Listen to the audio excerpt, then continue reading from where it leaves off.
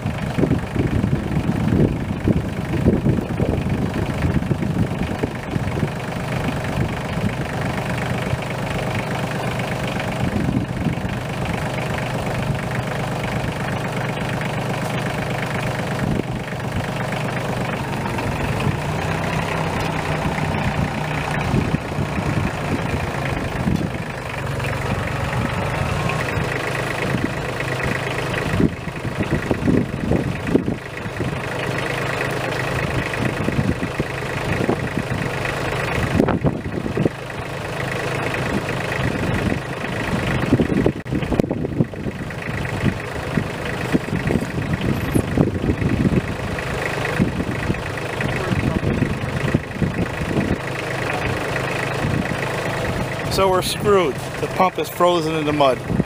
Not sure how we're going to get it out. Well, the well saga continues. Uh, basically, we're screwed because we pulled as hard as we could, and what happened was the uh, plastic pipe that goes down to the pump broke about, what, 20 foot from the top of the well. So now we're faced with a the series of problems. Number one, the house has no water. Um, number two, well, to get a new well drilled in this kind of weather is not going to happen. Nobody's available for a couple weeks out. So what do you do in the meantime? So I guess this is going to turn into a survival type video because we do have a plan and fortunately for us, we have a well uh, system in that barn. So we have a source of water on the property. And what we're going to do is come up with a temporary solution to do things like flushing toilets and washing dishes and stuff like that, showers, but not drinking water. So, this is the tank we use to uh, bring water to the cows in the summertime. And we're going to set it right next to the house water system and uh, fill it up with a hose from the barn. You know, it's about 250 gallons, 300 gallons. And I'm going to go get a, a shallow well um, jet pump, put right on the end of that spigot there, and use that to pressurize the house system and at least we'll be able to flush toilets and stuff for a while.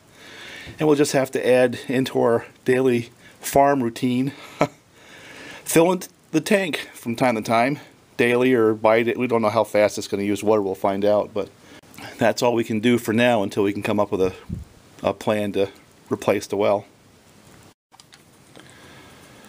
So here's the temporary solution. I went and got a uh, pump from Tractor Supply it's a uh, half horsepower shallow well pump. And what I did was uh, just plumbed it right to the pump and uh, plumb that right into our our house well system. You know, we got a tank there. I put a filtration system in it, and I use PEX to go there. You know, I'm a little bit nervous about how long the line is, and uh, I'm also a little bit nervous about that pump being uh, below the tank, so there's always pressure. But I backed off the regulator there, and it seemed like it worked fine. So right now, I mean, if I can get water in here from the barn, um, this system here will pressurize my house and that may be what I have to do for a time being. So, well, the system works. Um, the one thing I did have to do is I had to bypass the original uh, pressure switch and use the original one that was on the on the house system. And I'm not sure why, but that one would just flutter. So I just powered it directly from the old one. And uh, yeah, the tank's got good pressure. You know, I checked it. It, it had uh, 45 pounds. And uh, the pump seems like it has no problem building pressure. You know, we've got a few, little things to debug. A little leak right there, but there's a leak somewhere in the tank. But you know something? Right now it's another one of those storms blowing through. We've got 45 mile an hour winds and horizontal snow and sleet going on outside. Really nasty. And guess what? we got water, kind of, but it may not be exactly what we want, but it sure is better than not having anything at all.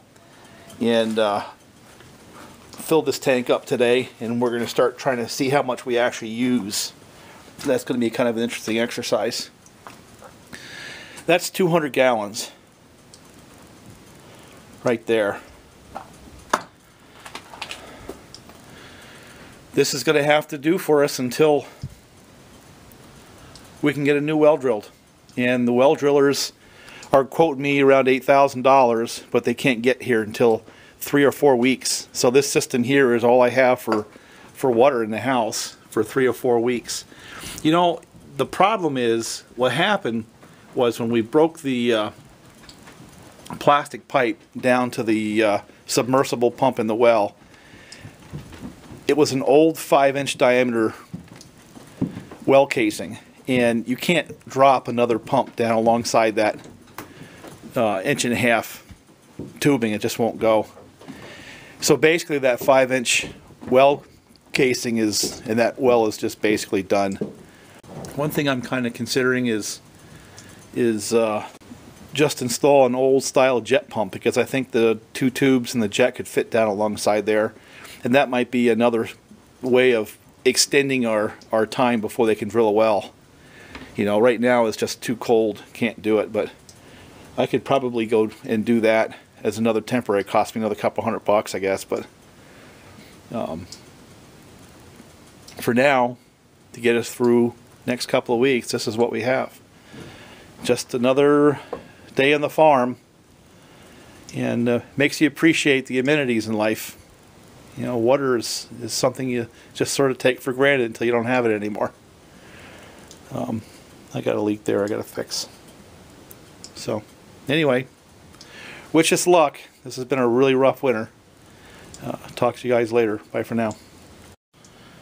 I've got uh, someone taking a shower upstairs, so we're going to sit and watch the system cycle to make sure everything is, is working good.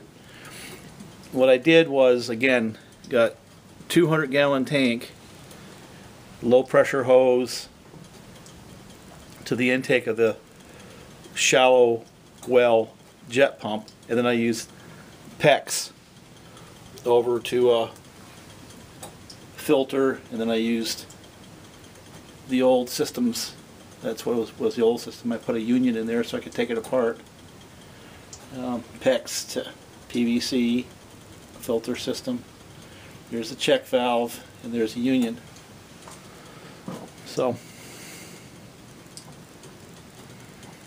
see if it drops pressure and the pump turns on and does a cycle and everything.